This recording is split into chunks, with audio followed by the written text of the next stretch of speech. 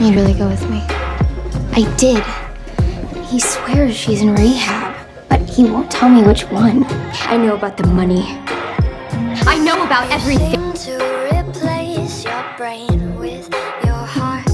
You take things so hard and then you Do you know what you sound like him right now? You try to explain I won't do anything until I know my mom is okay. Mom?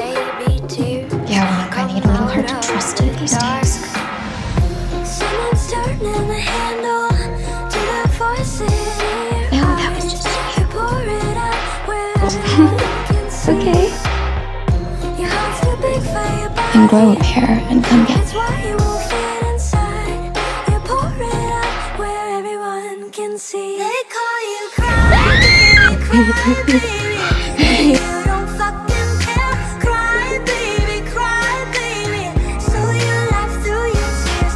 Cry baby, cry baby. Playtime's over, bitch. I know your alibi for Jake's murder. B.